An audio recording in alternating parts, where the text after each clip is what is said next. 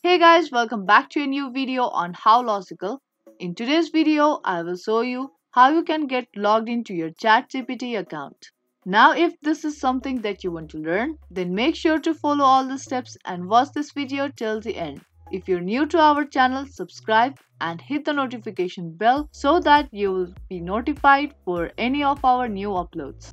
Now let's get into the video. Firstly, you need to open up any web browser on a PC and there on the URL bar, search for chat.openai.com and press enter on your keyboard. As soon as you do that, you will be able to see this type of interface on your screen. Now from here, you have to tap on login button.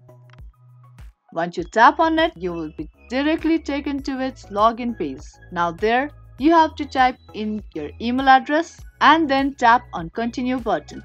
Once you tap on continue button, you will ask to enter your account password. If in case you have forgotten your password, you can tap on forget password link to retrieve your password. And if you want to double check your password, you can tap on eye icon to reveal and confirm your password. Or you can also sign in to your ChatGPT account with your Google account or Microsoft account if you have created your account using your Google account or your Microsoft account. Sign up for your ChatGPT, then tap on it and you will be immediately get logged into your ChatGPT account.